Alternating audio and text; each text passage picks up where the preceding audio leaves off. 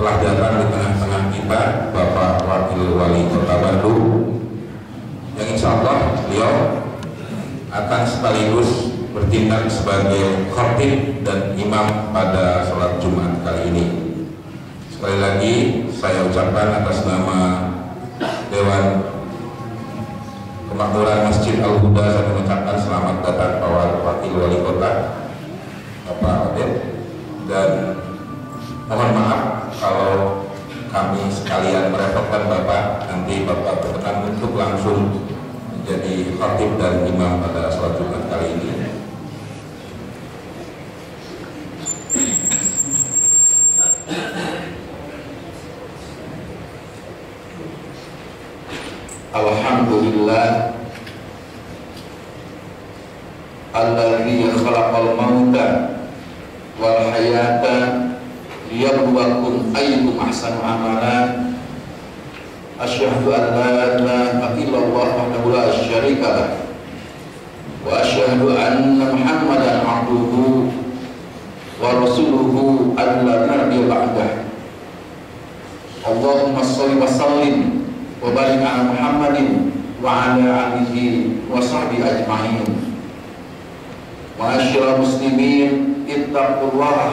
حق تقاته ولا تموتن إلا وأنتم مسلمون Hadirin sidang iman kepada iman dan rahimahullah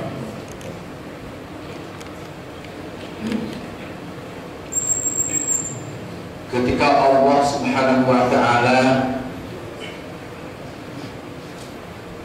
menciptakan makhluknya yang bernama manusia.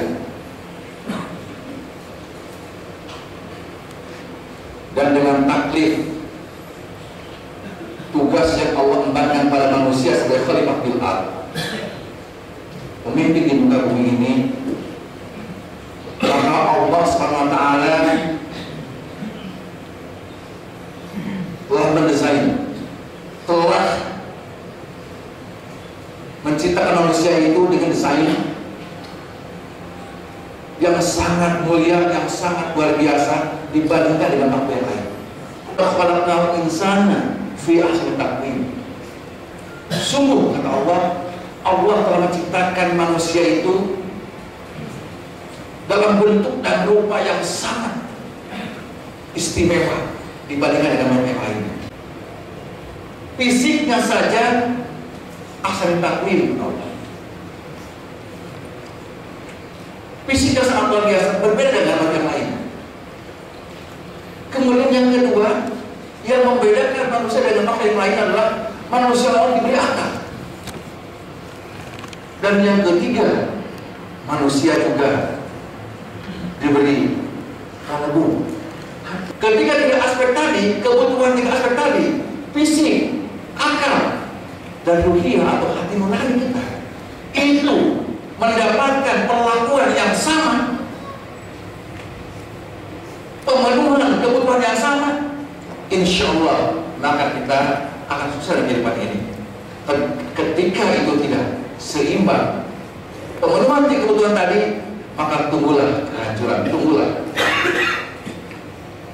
kebinasaan. Proses tawazunitas, proses keseimbangan yang dibutuhkan oleh fisik kita, jasad kita, akal kita, dan ruhaniah kita itu sangat-sangat dibutuhkan keseimbangan. Hadirin dan iman Allah, kita tahu dan kita sadari bahwa fisik ini punya kebutuhan. Kebutuhan fisik adalah bagaimana asupannya makan dan minum dan olahraga. Dan banyak sunnah hadis Rasulullah SAW memberikan sebuah bimbingan kepada kita bagaimana cara kita mempergunakan atau bagaimana cara memperlakukan kebutuhan fisik ini melalui makan dan minum dan olahraga tadi yang ketiga pemenuhan kebutuhan kita itu adalah kebutuhan rohani kita. Roh kita ini sangat dibutuhkan, sangat membutuhkan pemenuhan apa yang oleh itu maka untuk memenuhi kebutuhan adalah dengan cara zikrullah, zikran kasiro, banyak berzikir mengingat Allah Subhanahu wa taala. Saya ingin sampaikan barangkali yang namanya zikir kepada Allah mengingat Allah itu banyak bentuknya kalau bentuk kita ada ucapan zikir kepada Allah SWT yang ucapan subhanallah walhamdulillah la ilaha illallah wallahu akbar tidak hanya itu. Itulah namanya baru tabu zikri ucapan zikir. Zikir dalam bentuk ucapan. Maka Rasulullah SAW mencontohkan kira setiap hari sholat kita berzikir dalam bentuk tabu zikri. Tapi ada zikir yang lainnya. Yang di yang lain itu sangat dibutuhkan untuk pemenuhan penguatan rohaniah kita. Di antaranya Al-Quran mengatakan sholat itu merupakan bentuk zikir kepada Allah Subhanahu bentuk ingat Allah Taala, ingat kepada Allah dalam bentuk sholat. Dalam Al-Quran dikatakan as-salatu lidzikri. Sholat kalian lidzikri kata Allah untuk mengingatku. Kalau umat Islam ini sudah terbiasa melakukan sholat, mendirikan sholat. Apalagi sholatnya selalu berjamaah di masjid itu saja. Ya. Sholatnya berkualitas, maka sungguhnya umat Islam sedang berzikir kepada Allah SWT, mengingat Allah Subhanahu Wa Taala. As-sholatu. Sholatlah kalian untuk mengingat Allah. Ada bentuk zikir yang lain. Di antaranya membaca Al-Quran. Kita bisa melihat bagaimana hari ini bangsa Indonesia. Sel-sel penjara banyak dipenuhi oleh orang-orang yang saya kira bukan tidak mengetahui, bukan tidak punya aspek pikir, bukan tidak punya kemampuan intelektualitas. Tapi ketika zikir ini lemah, kemudian aspek pikirnya kuat, itulah yang terjadi hari ini. Maka saya sampaikan barangkali di dalam Al-Quran Karim ayat yang lain ternyata manusia-manusia hamba-hamba Allah yang dikatakan punya visi misi yang robbani itu visi misi yang dirilis Allah SWT ternyata visi itu mudah. Sederhana sekali mengatakan. Allah mengatakan Wadhkur ibadana Ibrahim wa Ismail wa Ishaq. Ulil aidi wal absar. Inna akhlasnahum bi khalisatin zikrada karena kami kata Allah telah memberikan kemampuan kepada mereka. Akhlasnahum keikhlasan kepada mereka. Bikhalisotin dengan keikhlasan sangat luar biasa. Jadi orang yang itu kan orang yang ketika hidup di dunia ini sebagai pemimpin dia punya keikhlasan yang sangat luar biasa. Yang kedua Allah mengatakan? Zikrodar dan mereka selalu ingat kampung akhirat selalu ingat mereka akan kembali kepada Allah Subhanahu Wa Taala. Itulah fungsinya zikir kepada Allah Subhanahu Wa Taala. Hadirin muslim yang iman Allah, maka sesungguhnya kalau manusia di dunia ini selalu menggunakan tiga aspek tadi, memanfaatkan tiga aspek tadi, yaitu fisiknya, kemudian akalnya, dan rohaniannya, rohnya, insya Allah dunia ini akan aman. Akan banyak barokah dari Allah SWT, bukan tanah dari Allah SWT, bencana di mana-mana. Barakallahu dari barakallahu.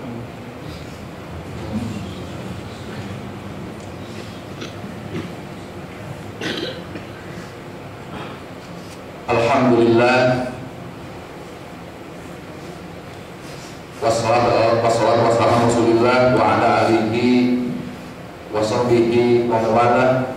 Asyhadu an la ilaha illallah syarika lah. Asyhadu anna Muhammadan abduhu wa rasuluh.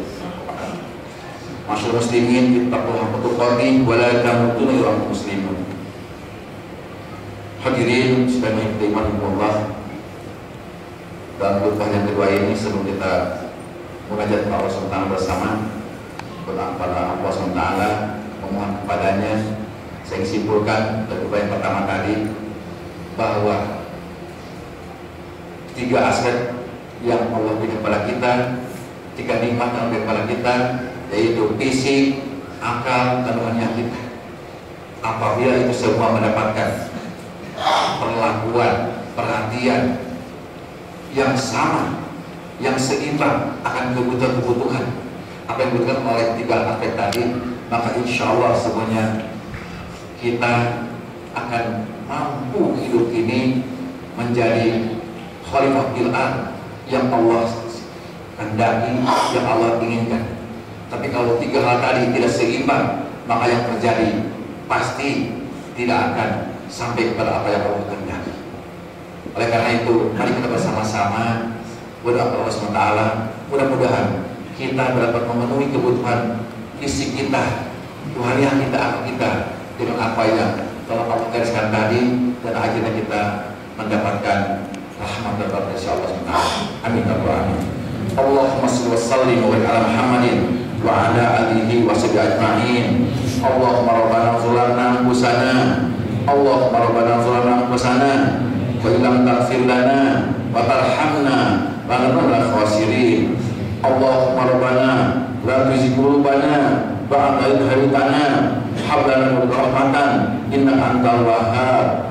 Allahumma rabbasib anna adzab jahannam Inna adzabaha kana gharama Innaha sa'at mustaqarra wa muqama Allahumma ij'alni ahli Qur'an Allahumma ij'alni ahli Qur'an Allahumma ij'alni ahli Qur'an Allahumma rabbana atina fid hasanah wa fil akhirati hasanah wa qina azabannar. Wa sallallahu mursalin. Walhamdulillahi rabbil alamin. Aqulu qawli hadza. Wa astaghfiru wa lakum. Assalamu warahmatullahi wabarakatuh. Allahu akbar Allahu akbar. Asyhadu an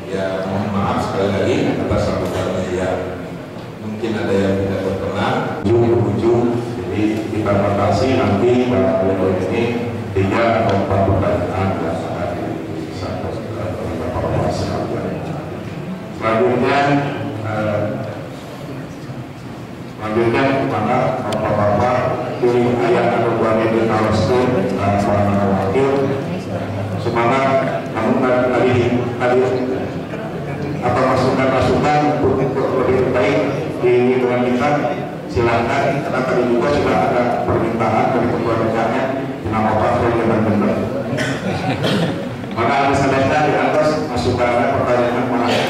Mana? Nah, santai ya Pak. Kebetulan saya itu sudah bulan hari Selasa 16 September 2016 pada hari Selasa Rabu Kamis Jumatnya sampai Jumat sekarang ini saya punya langsung jumlah jadi dua hari setelah lagi hari Jumat sampai hari Jumat sekarang saya punya program jumlah dua dua miring ini dari satu kecamatan kecamatan itu sampai tiga kecamatan kami sudah setelah lima itu enam namanya setiap kecamatan ini.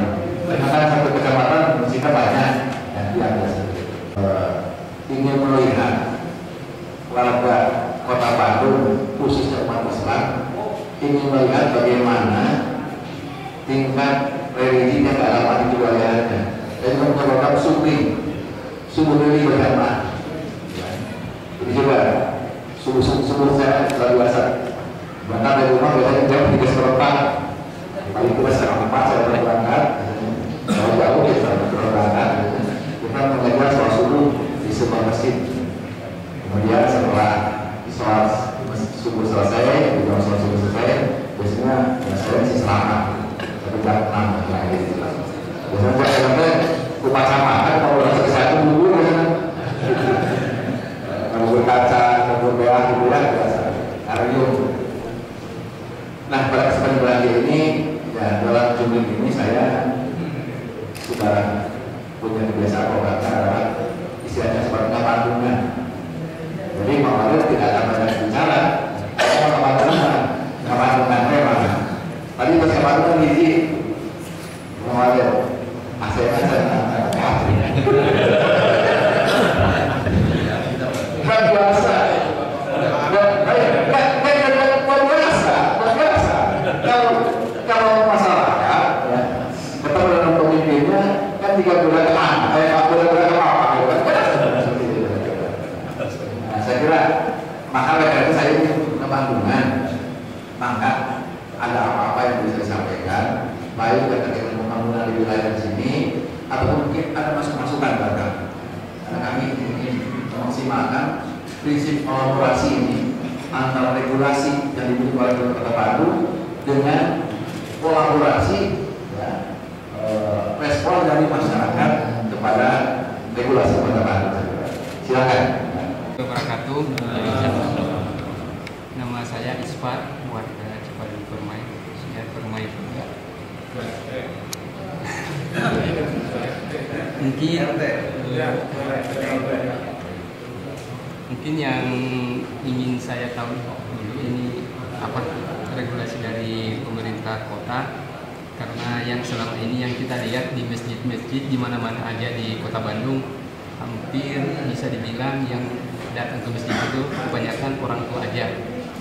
Sedang nah, saya ada semangat sedikit gimana kira-kira ada dorongan dari pemerintah biar anak-anak bisa ikut ke masjid juga bukan hanya untuk belajar ngaji di saat asar sama maghrib. Gimana kira-kira mendorong anak-anak ini datang subuh duhur asar maghrib bisa karena saya tadi mendapat pencerahan dari isi khutbah. Artinya eh, pemerintah sangat mendorong gimana kembali kepada agama dengan sholat dengan sholat kita bisa zikrullah gitu.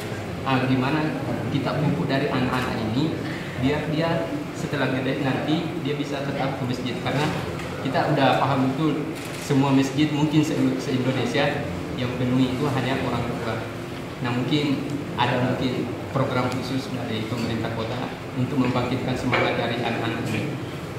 Mungkin segitu saya Polo Adi Pratama eh, warga Babakan Tarogong. Ingin menanyakan Pak eh, bagaimana cara untuk menanggulangi eh, generasi muda ya eh, di daerah saya eh, anak-anak misalkan usia SD SMP eh, pada putus sekolah terus eh, pada nongkrong-nongkrong di sisi jalan gitu. Nah, eh, bagaimana cara untuk memberitahu dan agar si anak tersebut bisa sekolah kembali? Terima kasih. saya Soleh warga Bandung RT 1 RW 7 Kelurahan Cipadung Kecamatan Cibiru Kota Bandung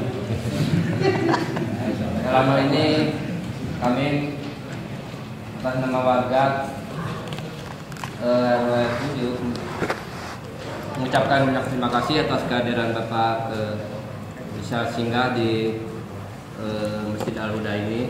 Dalam ini memang warga terutama RW 7 juga banyak masih banyak kekurangan dalam hal pembangunan di sini. Terutama ya istilah tadi masjid masih belum lengkap Pak ya. Terus keduanya ini eh, kami punya lapangan futsal Pak. Ada lapangan futsal mohon eh, ada perhatian dari Bapak dari dulu sampai sekarang belum terrealisasi Pak pembangunannya hanya baru sedikit saja dan terus jalan-jalan terima kasih daripada itu hasil daripada PIPPK juga kami ucapkan terima kasih dari pemerintah kota yang telah memberikan pengarahan juga apa Yang ingin saya tanyakan eh, tentang masalah keamanan, Pak. Jadi sampai sudah sejauh mana eh, eh, kebijakan yang diambil oleh Pemkot, terutama untuk masalah keamanan. Karena saya sering mendengar eh, kejadian-kejadian eh, mahasiswa IPB lah yang dibacok, kemudian yang dirampas dan lain sebagainya. Itu memang kejadiannya di daerah Dago sana, Pak. Nah, kemudian Eh, tempo hari pernah juga dengar di Pasopati ada kejadian, kemudian ada polisinya jaga di sana. Tapi ke sini ke sini sekarang polisinya sudah tidak ada lagi gitu kan pak. Nah kemudian eh, di daerah terutama daerah kami daerah timur sini daerah eh, Cibiru sini memang eh, relatif mungkin eh, tidak terlalu sering kejadiannya, tapi eh, saya sendiri kadang-kadang ini eh, dari pihak pemkotnya sudah sampai sejauh mana kerjasama dengan pihak kepolisian dan lain sebagainya.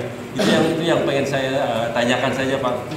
Terus terang ya saya makin sini rasa rasanya makin selalu khawatir kalau misalnya melakukan pulang malam gitu kan Eh, apalagi kalau misalnya eh, berkendara pakai roda 4 sih saya pikir no, no problem tapi kalau menggunakan motor pulang jam 12 atau jam 1 sepertinya takut gitu pakai di sini makin takut apalagi dengan eh, di daerah kompleks ini banyak sekali mahasiswa yang aktivitasnya kadang-kadang suka pulang malam dan lain sebagainya. Nah, pihak Pemkot sudah sampai sejauh mana untuk ber- eh, menangani masalah eh, keamanan ini? Itu saja mungkin Pak. Terima kasih. Pak, dari kalau untuk suatu saat panggilan Bandung ini jadi situ Bandung ya. Karena ini yang penting. Jadi informasi saya kira dari kelurahan kecamatan tidak ada informasi Bapak.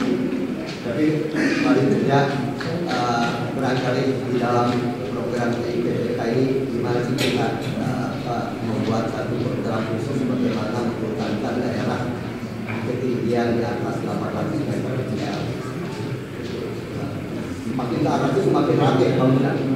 Jadi air itu sudah tidak bisa lagi menyerap ke lapisan tanah. Yang di yang digalakan oleh Bapak ternyata juga tidak cukup.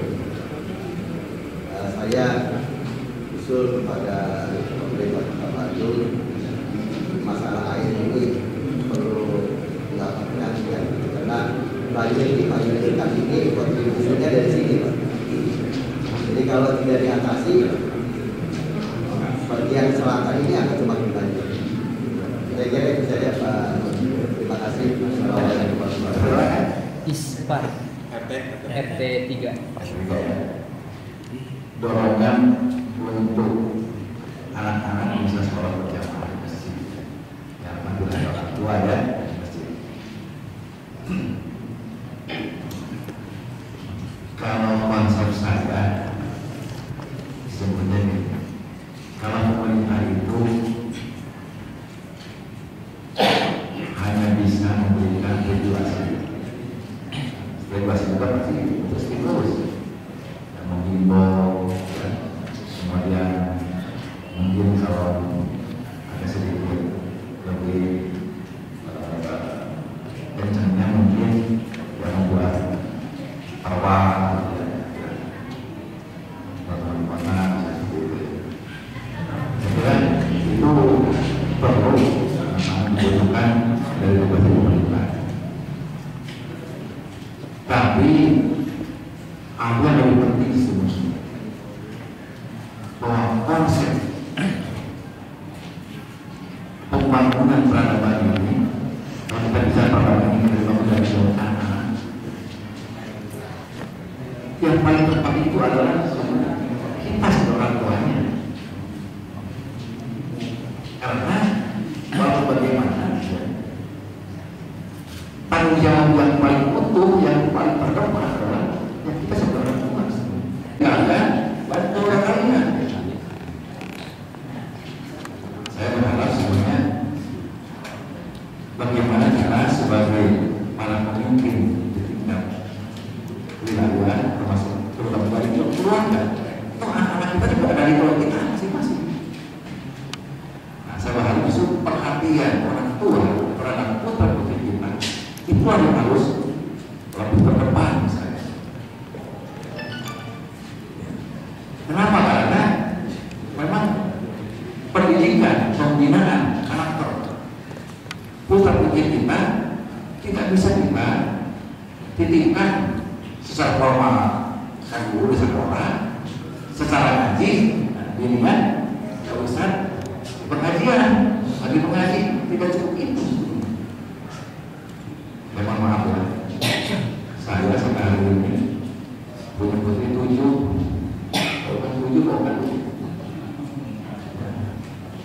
saya punya putra putri semuanya tujuh sudah ada pak beberapa RT ketika masuk proposal kami kemudian kebetulan awal juga kasih kesempatan ke para pengusaha gitu kan para pengusaha kita ada pengusaha ya kita sama mereka mereka bisa senang juga mereka pak ya, saya kira itu penting pak bahkan sekarang ada beberapa wilayah juga bukan hanya sekedar membangunnya pak tanahnya pun ada dari kiri Pak. ada kiri yang sebenarnya tapi memang tadi APBD ini kan apa namanya terbatas maka eh, kita bikin ini pak dicicil gitu kan dicicil ya. Dicicil terus setiap eh, RW ada tiga tahun atas segera mudah-mudahan ke depan semua kalau kita bisa semua kantor sebelum dan setelahnya saya diskusi dengan para pengusaha dari warisannya ada ada dari